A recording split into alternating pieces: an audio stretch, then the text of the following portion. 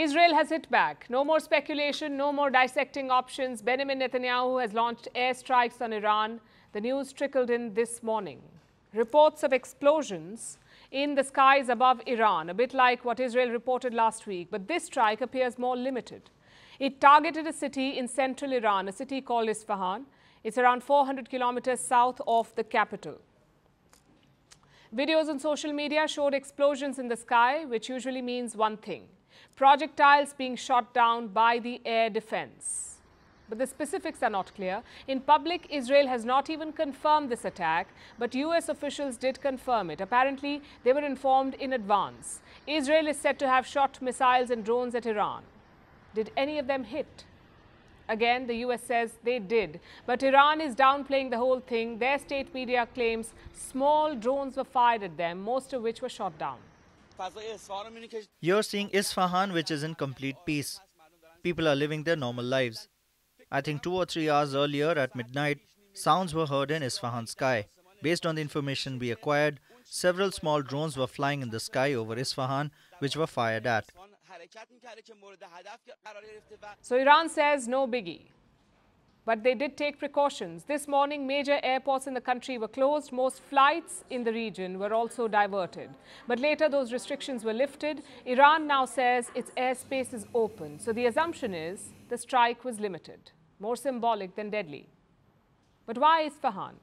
It's a strategically important city.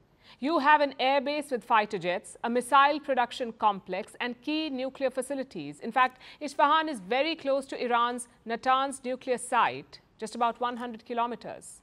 But Israel did not target it. Even the United Nations atomic watchdog has confirmed this. They said the nuclear sites are fine. So, what was Israel hoping to achieve?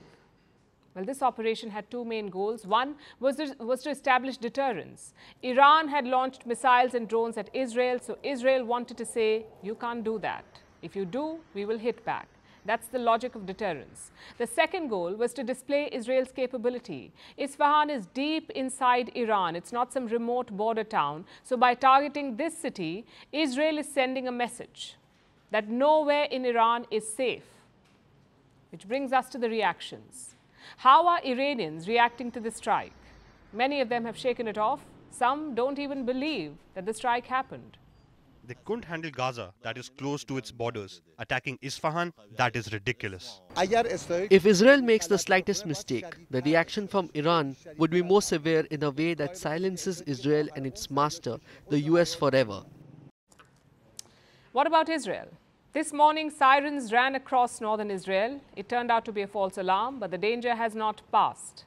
Along with Iran, Israel also struck other targets. Explosions were reported in Syria and Iraq. Both countries host Iranian proxy groups. Plus, the Hezbollah in Lebanon has stepped up attacks. So the next few hours will be crucial. Israel will be keenly watching for a possible response. As for the people, their reaction has been mixed. Some say the attack was necessary, others fear what could happen next. I think the attack in Iran is a necessary action in our environment, which is much harsher than the jungle in Africa.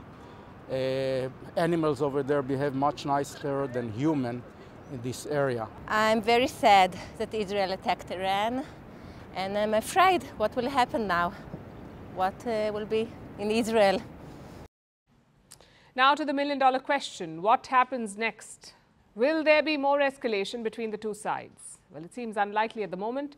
And there are three reasons why. Number one, Israel's behavior. There's no chest thumping, no grand statements in the media. Israel has not even admitted to the strikes.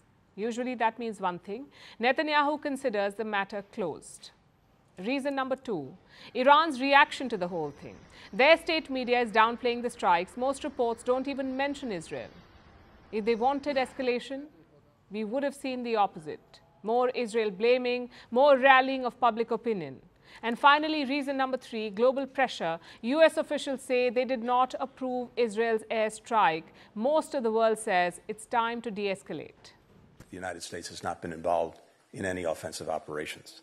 Uh, what we're focused on, what the G7 is focused on, and again, it's reflected in our statement and in our conversation, is our work to de escalate uh, tensions, um, to de escalate from any potential conflict. Significant escalation is not in anyone's interest. What we want to see is calm heads prevail across the region. It is absolutely necessary that the region stays stable and that all sides refrain from further action.